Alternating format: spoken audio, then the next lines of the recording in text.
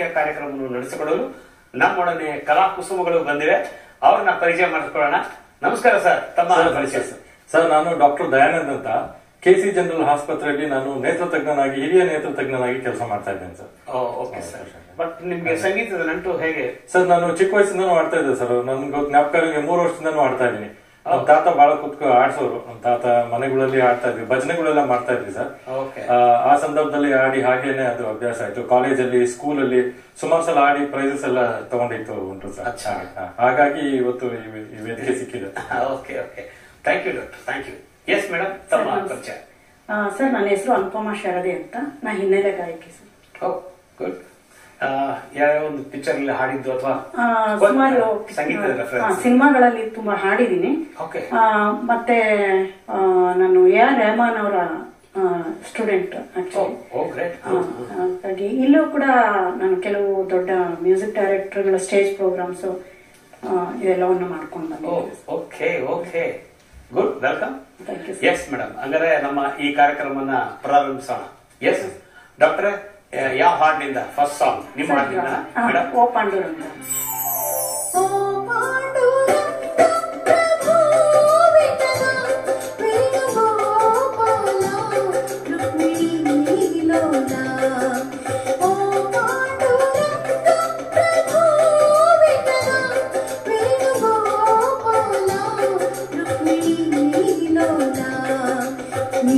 ಪಾವನ ಪ್ರಭೋ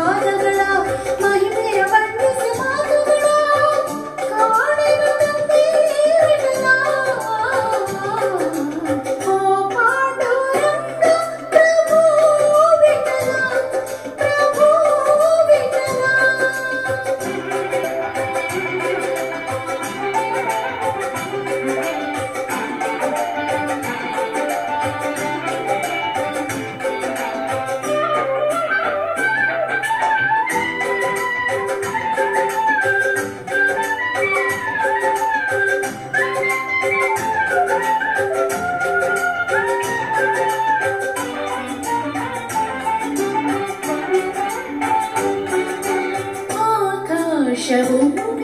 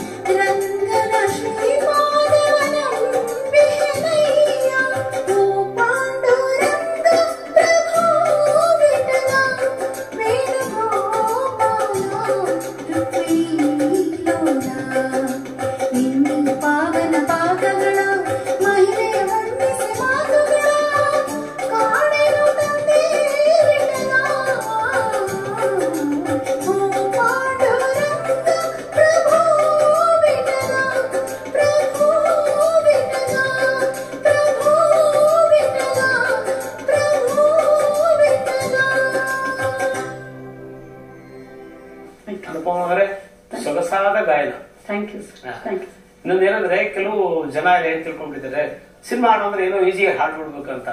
ಆ ಹಾಡು ಕಷ್ಟ. ಫಸ್ಟ್ ನಿಮ್ಮ ಭಾಷಾ ಜ್ಞಾನ ಚೆನ್ನಾಗಿರ್ಬೇಕು. ಸ್ಪಷ್ಟ ಉಚ್ಚಾರಣೆ ಇರಬೇಕು. ಸಂಗೀತ ಜ್ಞಾನ ಇರಬೇಕು. ಆಮೇಲೆ ಯಾವ್ಯಾವ ಸಂಗೀತ ಹೇಗೆ ಯಾವ ಹಾಡಿಗೆ ಏನು ಹಾವಭಾವ ಇರಬೇಕು ಇದಿಷ್ಟೆಲ್ಲ ಸಮ್ಮಿಶ್ರವಾಗಿದೆ. ಗುಡ್ ಬಹಳ ಚೆನ್ನಾಗಿ ಸೊಗಸಾಗಿ ಹಾಡುತ್ತೆ ಎಸ್ ಡಾಕ್ಟ್ರೆ ಸರ್ ಬೆಸುಗೆ ಚಿತ್ರದ್ದು ಹಾಡೋಣ ಅಂತ ಶ್ರೀನಾಥ್- ಎಸ್ ಅವ್ರದ್ದು ಎಸ್ ಎಸ್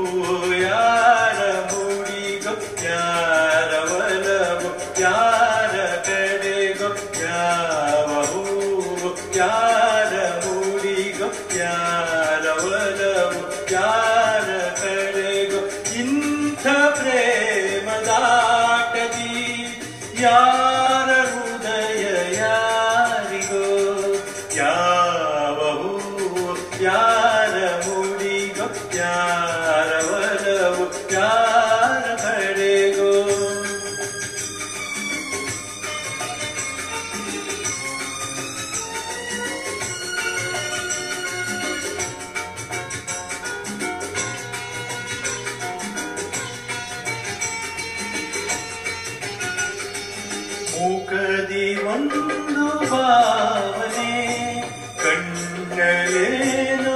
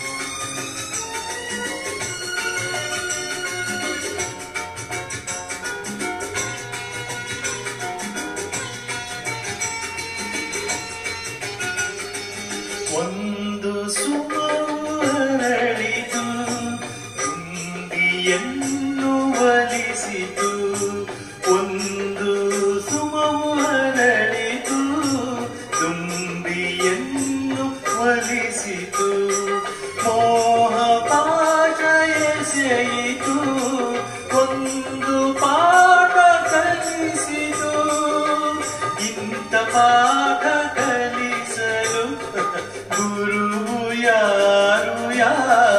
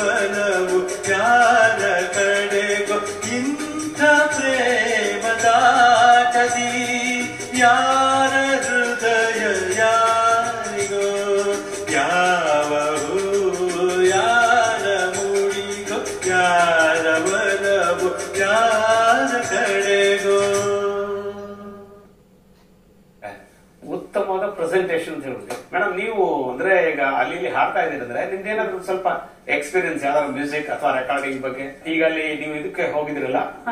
ಆ, ಅಲ್ಲಿ ಅಲ್ಲಿದ್ ಹೇಳಿ ನಾವು A R Rahman music sir ಅಲ್ಲಿ ಅಂತ ಅಂದ್ರೆ ನಾನು ವೆಸ್ಟರ್ನ್ ಮಾಡಿದೆ ಆಕ್ಚುಲಿ ಹಾ. ಸೊ ಅಲ್ಲಿ ಪ್ರೋಗ್ರಾಮ್ಸ್ ಇರುತ್ತೆ. ವೆಸ್ಟರ್ನ್ ಅಂದ್ರೆ ಇಂಗ್ಲಿಷ್ ಅಲ್ಲ ವೆಸ್ಟರ್ನ್ ಅಂದ್ರೆ ನೀವು ಕಾಯರ್ ಸಿಂಗಿಂಗ್ ಅದನ್ನ ಕಲ್ತರ ಅಥವಾ ಬೇರೆ ಅಲ್ಲ ಕಾಯರ್ ಇರುತ್ತೆ ಮತ್ತೆ ಪ್ಲಸ್ ಅದರದೇ ಆದಂತಹ ಒಂದು ಬರ್ಕ್ಲಿಲಿ ನೀವು ಆತರ ಒಂದು ಸಿಲೆಬಸ್ ನಾವು ಅಲ್ಲಿ ಕಲಿತಾ ಹೋಗ್ತೀವಿ. ಬಟ್ ಒಂದೇನಂದ್ರೆ ಸರ್ ಅಲ್ಲಿ ಒಳ್ಳೆ ಹೆಸರು ಮಾಡಿದ್ದೆ ನಾನು. ಬೆಂಗಳೂರು ಸಿಂಗರು ಮತ್ತೆ ನನ್ನ ನನ್ನ ಫ್ಯಾಕಲ್ಟಿಗಳು ನನ್ಗೆ ಕ್ಲಾಸ್ ತಗೊಂಡಾಗ ಫಸ್ಟ್ ಕನ್ನಡ ಸಾಂಗ್ ಹಾಡ್ಬೇಕು ನೀನು ಸೊ ಅದ್ ಹಾಡಿದ್ಮೇಲೆ ಕ್ಲಾಸ್ ಶುರು ಆಗ್ತಿತ್ತು ನಂಗೆ ಸೊ ಚೆನ್ನಾಗಿತ್ತು ಎಕ್ಸ್ಪೀರಿಯನ್ಸ್ ತುಂಬಾ ಚೆನ್ನಾಗಿತ್ತು. ಈ ಹಾಡ್ ಆಡಿದಾಗ ನಮ್ಗೆ ನಿಜವಾಗ್ಲು ಎಷ್ಟು ಖುಷಿ ಆಯ್ತು ಅಂದ್ರೆ ಎಷ್ಟು ಟಫ್ ಇದೆ ಸರ್ ಇದು ಕಂಪೋಸಿಷನ್ ಹಾಡೋದು ಇವು ಓ ಪಾಂಡುರಂಗ ಅದು ನಾನು ಅನ್ಕೊಂಡೆ ಕೇಳಿ ನಾವು ಸಣ್ಣ ಹುಡುಗರಿಂದ ಕೇಳಿದ್ದಷ್ಟೇ. ಅವಾಗ ಅನ್ಕೊಂಡೆ ಹಾಡ್ಬೋದು ಅಂತ. ಬಟ್ ನಾ ಹಾಡೋಕ್ ನಿಂತ್ಕೊಂಡಾಗ ಎಷ್ಟು ಕಷ್ಟ ಇತ್ತಲ್ಲ ಎಷ್ಟ್ ಜಾನಕಿ ಇವ್ರು ಹೆಂಗ್ ಹಾಡಿರ್ಬೋದಲ್ಲ ಬರೀ ಕಷ್ಟ ಒಂದೇ ಅಲ್ಲ ಇಡೀ ಸಾಂಗ್ನ ಒಂದೇ ಟೇಕ್ ಅಲ್ಲಿ ಹಾಡ್ತಿದ್ರು ಹಾಡ್ತಿದ್ರು. ನೆನ್ಸ್ಕೊಂಡು ಮೈ ಜು- ಹೌದು ಸರ್. ಜುಮ್ ಅನ್ನುತ್ತೆ ಹೌದು, ಹೌದು. ಈಗಾದ್ರೆ ಒಂದೊಂದ್ ಲೈನ್ ಒಂದೇ ಲೈನ್ ಹಾಡಿ ಹೌದು, ಹೌದು, ರೆಕಾರ್ಡಿಂಗ್ ಸರ್ ಆ ತಾಯಿ ಮಡಿಲಲ್ಲಿ ನಾನು ಮಲಗಿದ್ದೆ ಸರ್ ನಾನು ನಾಮಕರಣಕ್ಕೆ ಬಂದಿದ್ರು. ಮೇಡಮ್ ಹೌದು ಜಾನಕಿ ಅಮ್ಮ ಬಂದಿದ್ರು ನನ್ನ ನಾಮಕರಣದಲ್ಲಿ.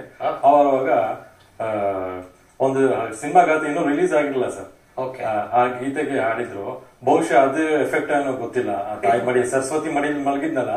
ಹಾಗಾಗಿ ನನ್ಗೆ ಏನೋ ಸ್ವಲ್ಪ ಹಾಡೋ ಇದ್ರಿಂದ ಆಡೋ ಒಂದು ಅವಕಾಶ ಸಿಕ್ಕಿದೆ ಮತ್ತೆ ಇಂಥ ಟಫ್ ಪ್ರೊಫೆಷನಲ್ ಕೂಡ ನಾವು ಇದ್ದ ಒಂದು ಕಾರ್ಯಕ್ರಮಕ್ಕೆ ಬಂದು ಹಾಡೋ ಒಂದು ಭಾಗ್ಯ ಸಿಕ್ಕಿದೆ ಸರ್ ಆ ತಾಯಿಯಿಂದ ಎಸ್ ನೆಕ್ಸ್ಟ್ ಸಾಂಗ್ ಸರ್ ಈಗ ಡಿಬೇಟ್ ಆಡ್ತೀವಿ ಸರ್ ಡಿಬೇಟ್ ಸಾಂಗ್ ಆಡ್ತೀವಿ ಬೆಸಿಗೆ ಚಿತ್ರದ ಓಕೆ ವಸಂತ ಬರೆದನು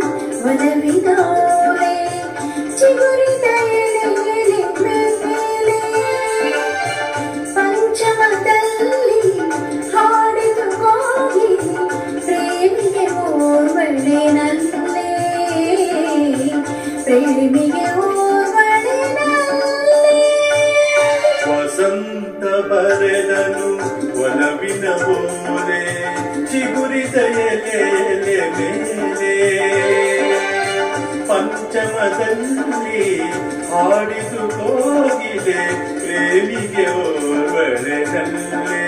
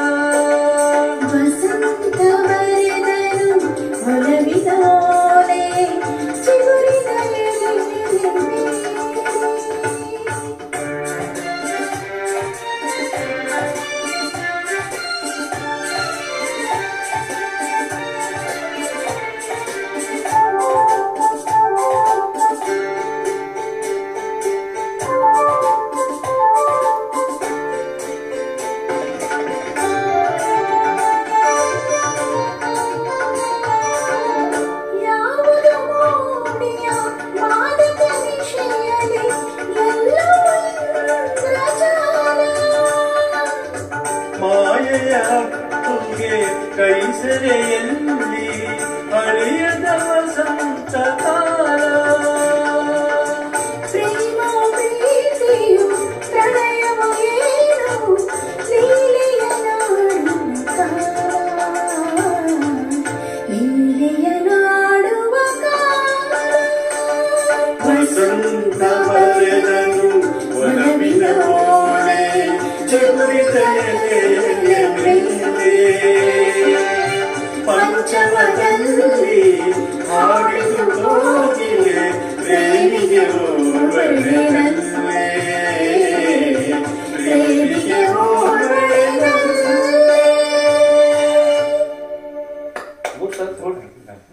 ಮೇಡಮ್ ನಿಮ್ಗೆ ಗೊತ್ತಿರೋ ಹಾಗೆ ವಿಜಯ ಭಾಸ್ಕರ್ ಅವ್ರ ಶೈಲಿನೇ ಬೇರೆ. ರಾಜನ್ ನಾಗೇಂದ್ರ ಶೈಲಿನೇ ಬೇರೆ. ಅಲ್ವಾ? ಹೌದು, ಹೌದು. ರಾಜನ್ ನಾಗೇಂದ್ರ ಸಿಂಪಲ್ ಆಗಿ ಸಿಂಪಲ್ ಲೆಕ್ಕಾಚಾರದಲ್ಲಿ ಕಷ್ಟವಾದ ಹಾಡಿರುತ್ತೆ ಇವ್ರು ಕಷ್ಟ ತೋಡ್ಕೊಳ್ಳೋನೆ ಕಷ್ಟ. ಆಮೇಲೆ ಒಂದು ಸಲ ಗೊತ್ತಾದ್ರೆ ನೀವು ಸರಿಯಾಗಿ ಹಾಡ್ಬೋದು. ಅಲ್ವಾ? ಹೇಗೆ ನೀವು ಅಲ್ಲಿ ರೆಹಮಾನ್ ಬರ್ಕ್ಲಿ ಯೂನಿವರ್ಸಿಟಿದು ಸಿಲೆಬಸ್ನ ಫಾಲೋ ಮಾಡೋದಿಲ್ಲ? ಹಾಗೆ ಇವ್ರದ್ದು ವಿಜಯ ಭಾಸ್ಕರ್ ಹಾಡೋದು ತುಂಬಾ ಕಷ್ಟ. ಸರ್ ಕೇಳೋದ್ ತುಂಬಾ ಈಸಿ ಅನ್ಸುತ್ತೆ ಸರ್ ನಾವು ಇದು ಈಸಿ ಆಗಿರುತ್ತೆ ಅನ್ಕೊಂಡ್ವಿ. ಹಾಡುವಾಗ ಗೊತ್ತಾಯ್ತು ಓ ಇದು ಕಷ್ಟ. ಸ್ವಲ್ಪ ಟ್ರೈನ್ ಇದ್ರೆ ತುಂಬಾ ಇಷ್ಟ. ಹಾಡೋದಕ್ಕೆ ಬಹಳ ಕಷ್ಟ. ಕಷ್ಟ. ಬಟ್ ಹಾಡಿದಾಗ ಸಿಗುವಂತ ಖುಷಿ ಇರುತ್ತಲ್ಲ ಸರ್? ಹಾ. ಅದು ತುಂಬಾ ಖುಷಿ ಇರುತ್ತೆ ಓಕೆ ಎಸ್ ಡಾಕ್ಟ್ರೆ ಹಾ, ಸರ್. ನನಗಂತೂ ಗೊತ್ತಾಯ್ತು ನೀವು ಪ್ರೊಫೆಷನ್ ಪ್ರೊಫೆಷನ್ ಕಿಂತ ಜಾಸ್ತಿ ಮ್ಯೂಸಿಕ್ ಇಷ್ಟಪಡ್ತೀರಾ ಸರ್ ಸರ್? ತುಂಬಾ ಇಷ್ಟಪಡ್ತೀನಿ ಸರ್. ನನ್ನ ಜೀವನದಲ್ಲಿ ಎರಡೇ ಜಾಗ ನಂಗೆ ತುಂಬಾ ಇಷ್ಟ ಆಗುವಂತ ಪ್ಲೇಸ್ ಒಂದು ಸರ್ಜರಿ ಸರ್. ಕಣ್ಣಿನ ಸರ್ಜರಿ ಕ್ಯಾಟ್ರಾಕ್ಟ್ ಮಾಡ್ತೀನಿ. ಅದು ಬಹುಶಃ ಮ್ಯೂಸಿಕ್ ಇಂದ ಹೆಲ್ಪ್ ಆಯ್ತು ಏನೋ ಗೊತ್ತಿಲ್ಲ sir. Cataract surgery S I C S ಎಲ್ಲ ನಾಲ್ಕು ನಿಮಿಷದಲ್ಲಿ ಮಾಡ್ಬಿಡ್ತೀನಿ ಸರ್ ಒಂದು ಕೇಸ್ ರೆಕಾರ್ಡ್ ಆಗಿದೆ. ಮತ್ತೆ ಐದು ನಿಮಿಷದಲ್ಲೂ ಕೇಸಸ್ ಆಗೋಗುತ್ತೆ. ಅದೆಲ್ಲ ಆತರ ಆಗುತ್ತೆ. ಅದಕ್ಕೆ ಬಹುಶಃ ಮ್ಯೂಸಿಕ್ ಅಂತ ಕಾಣಿಸುತ್ತೆ. ರಿಫ್ಲೆಕ್ಸಸ್ ತುಂಬಾ ಇಂಪಾರ್ಟೆಂಟ್ ಆಗುತ್ತೆ ಸರ್ಜರಿಲಿ ಸೊ ಇದು ಮ್ಯೂಸಿಕ್ ಈ ಸಣ್ಣ ಸಣ್ಣ ಸಂಗತಿಗಳು ಮತ್ತೆ ಸಣ್ಣ ಸಣ್ಣ ಸೆಕೆಂಡ್ಸ್ ಅಲ್ಲಿ ನಾವು ವೇರಿಯೇಷನ್ ಕೊಡ್ತೀವಲ್ಲ ಆ ವೇರಿಯೇಷನ್ಸ್ ಅಲ್ಲೂ ಹೆಲ್ಪ್ ಆಗ್ತಾ ಇದೆ ಅಂತ ಅನ್ಸುತ್ತೆ ನನಗೆ. ನಿಜ ಇದು. ಮತ್ತೆ ಅದೇ ಇನ್ನೊಂದು ಜಾಗ ಅಂತ ಹೇಳಿದ್ರೆ ಮ್ಯೂಸಿಕ್ ಸರ್. ಈ ಎರಡು ಜಾಗದಲ್ಲಿ ಆ ಭಗವಂತ ಏನೋ ನಮ್ಗೊಂದು ಅದೊಂದು ಆಶೀರ್ವಾದ ಮಾಡಿದ್ದಾನೆ. ಮತ್ತೆ ಇನ್ನೊಂದು ಏನು ಅಂದ್ರೆ ಸರ್ ನಮ್ಗೆ ನನ್ನ ಸಹೋದ್ಯೋಗ ನನ್ನ ಸ್ನೇಹಿತರು ಬಹಳ ಪ್ರೋತ್ಸಾಹ ಮಾಡ್ತಾರೆ. ಸ್ಕೂಲ್ ಡೇಸ್ ನಾನು ಸ್ಕೂಲ್ ಸೇರಕ್ ಮುಂಚೆಯಿಂದ ನಾರಾಯಣ ಸ್ವಾಮಿ ಅಂತ ಇದ್ದ ಕೋಟ್ಗೆ ಅವನು ಬಹಳ ನನಗೆ ಪ್ರೋತ್ಸಾಹ ಇವತ್ತು ಅಷ್ಟೇ. ಈ ಹಾಡು ಆಡು ಅಂತ ಹೇಳಿ ಕಲಿಸ್ತಾನೆ ಮತ್ತೆ ನನ್ನ ಸ್ಕೂಲ್ ಫ್ರೆಂಡ್ ರವಿ ಅಂತ ಸರ್. ಕೆ ಎನ್ ಅಂತ ಇದ್ದಾರೆ ಅವರಂತೂ ಬಹಳನೇ ನನಗೆ ಉತ್ತೇಜನ ಕೊಡ್ತಾರೆ. ಮತ್ತು ಇವತ್ತು ಇಷ್ಟ ಮಟ್ಟಿಗೆ ನಾನು ಬಂದು ಆಡ್ತಾ ಇದ್ದೀನಿ ಅವರು ಒಬ್ರು ಕಾರಣಕರ್ತರು ಅನ್ನೋದ್ರಲ್ಲಿ ಎರಡನೇ ಮಾತಿಲ್ಲ. ಹಾಡುಗಿಡ ಹಾಡು ಬರೆಯೋದು ಕಲ್ಪನೆ ಎಲ್ಲ ಇದೆಯಾ? ಮಾಡ್ತಿರ್ತೀನಿ ಸರ್. ಈಗ. ಸರ್ ಒಂದು ನಿಮ್ಗೆ ಈ. ನನ್ಗೆ ಬಹಳ ಇಷ್ಟ ಸರ್ ಈ ಪ್ರೋಗ್ರಾಮ್ ಮರ್ಯಾದ ಮಾಣಿಕೆ ಅದು. ಅದ್ರ ಬಗ್ಗೆ ನಿಮ್ ಪ್ರೋಗ್ರಾಮ್ ನಿಮ್ಮ ಒಂದು ಕೊಡುಗೆ ಈ ಒಂದು ಪ್ರೋಗ್ರಾಮ್ ಗೋಸ್ಕರ ಒಂದು ಸಣ್ಣ ಕವನ ಹತ್ರ ಬರ್ದಿದ್ದೀನಿ ಸರ್. ನೀವು ಪರ್ಮಿಷನ್ ಕೊಟ್ರೆ ಹೇಳ್ತೀನಿ ನಾನು. ಸರ್. ಮೆಚ್ಚುಗೆ ಪತ್ರ ಅಂತ ಹೇಳಿ ನಾನು ನಿಮ್ಗೆ ಕೊಡ್ತಾ ಇದ್ದೀನಿ ಸರ್. ಈ ಸುಂದರ ಸಂಜೆಯ ಚಂದನದ ಚಂದ. ಈ ಚಂದದ ಚಂದನ ಮರೆಯದ ಮಾಣಿಕೆ ಇನ್ನೂ ಚಂದ. ಮರೆಯದ ಮಾಣಿಕ್ಯದಲ್ಲಿ ಬಿತ್ತರಿಸುವ ಹಾಡುಗಳು ಮತ್ತಷ್ಟು ಚಂದ ಸರ್. ಗಾನ ಕೋಗಿಲೆಗಳ ಹೊಸ ಗಾನ ಕೋಗಿಲೆಗಳ ಇಂಚರದ ಆರ್ಭಟ ಕಲಾ ರಸಿಕರ ಕಿವಿಗಳಿಗೆ ಮುಟ್ಟಿ ಚಪ್ಪಾಳೆಗಳ ಸುರಿಮಳೆ ಗಿಟ್ಟಿಸಿ ಇನ್ನೊಂದು ಗಾನಲೋಕವನ್ನೇ ಸೃಷ್ಟಿಸಿದ ಅಪಾರ ಕೀರ್ತಿ ನಿನ್ನದು ಚಂದನ ಚಂದನ ಮರೆಯದ ಮಾಣಿಕ್ಯ ದೂರದರ್ಶನ ಚಂದನ. Super sir. ಜನಕ್ಕೆ ಎಷ್ಟು ಒಂದು ಒಳ್ಳೆಯ ವಿಚಾರ ತಿಳಿಸ್ತಾ ಇದ್ದೀರಾ? ಮತ್ತೆ ಇವತ್ತು ಬೇರೆ ಬೇರೆ ಏನೇನೋ ವಿಚಾರಗಳು ಹೇಗೆ ಹೋಗ್ತಾ ಇದೆ. ಬಟ್ ನಮ್ ಚಂದನ ಮಾತ್ರ ಹಾಗೆ ಇದೆ ಸರ್. ಅದೇ ಸ್ಟ್ಯಾಂಡರ್ಡ್ ಅದೇ ವಿಷಯ ಜನಕ್ಕೆ ತಲುಪಿಸ್ತಾ ಇದೆ.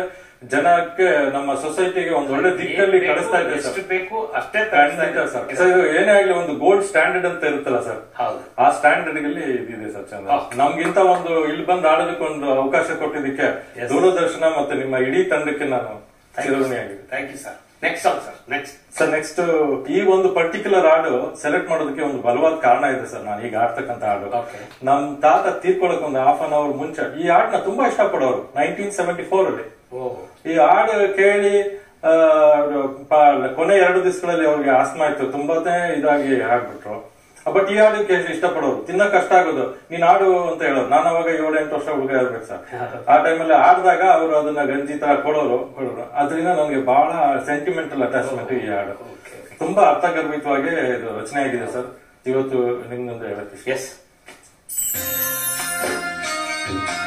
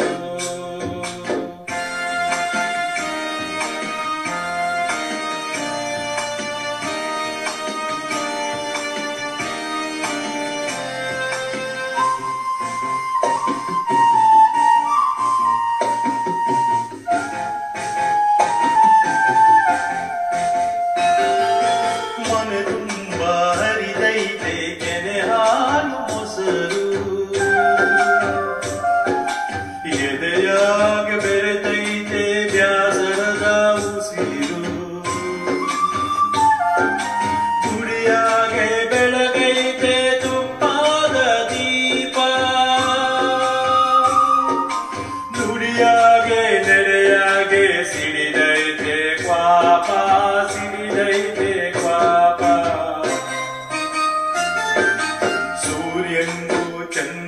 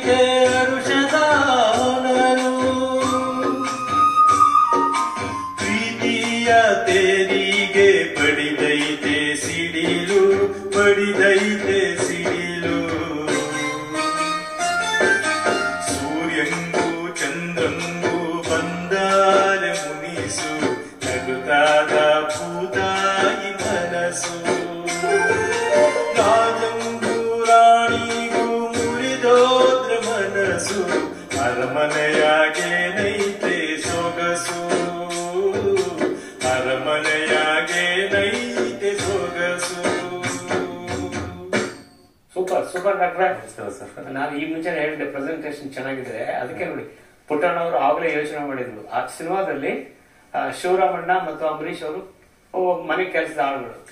ಅವ್ರ ಅವ್ರನ್ನ ಅವಾಗ ಪಿ ವಿ ಶ್ರೀನಿವಾಸ್ ಅವ್ರು ತುಂಬಾ ಪಾಪ್ಯುಲರ್ ಆ ಹಾಡನ್ನ ಅವ್ರ ಕೈಲಿ ಆಡ್ಸಿಲ್ಲ ಅದಕ್ಕೆ. ಬೇರೆ ಡೈರೆಕ್ಟರ್ ರವಿ ಅವ್ರ. ಕೈಲಿ ಆಡ್ಸಲ್ಲ ಸ್ವಲ್ಪ ಚೇಂಜ್ ಇರ್ಲಿ ವಾಯ್ಸ್. ಆ ಪ್ರೆಸೆಂಟೇಶನ್ ಇಂಪಾರ್ಟೆಂಟ್ ಅನ್ನೋದಕ್ಕೆ. ನಿಮ್ಮಲ್ಲಿ ಪ್ರೆಸೆಂಟೇಶನ್ ತುಂಬಾ ಚೆನ್ನಾಗಿದೆ. ಬಹಳ sir. Thank you thank you very much thank you sir ನಮ್ಮ ತುಂಬ ಹೃದಯದ ಧನ್ಯವಾದಗಳು ಸರ್ ಥ್ಯಾಂಕ್ ಯು ಧನ್ಯವಾದಗಳು. ಥ್ಯಾಂಕ್ ಯು ಥ್ಯಾಂಕ್ ಯು ವೀಕ್ಷಕರೇ ಮರೆಯದ ಮಾಣಿಕ್ಯ ಈಗ ಇಲ್ಲಿ ಮುಕ್ತಾಯವಾಯಿತು. ಮತ್ತೆ ನಮ್ಮ ನಿಮ್ಮ ಭೇಟಿ ಮುಂದಿನ ಸಂಚಿಕೆಯಲ್ಲಿ ಮರೆಯದ ಮಾಣಿಕ್ಯದಲ್ಲಿ. ನಮಸ್ಕಾರ. ನಾನು ಗುರುರಾಜ್.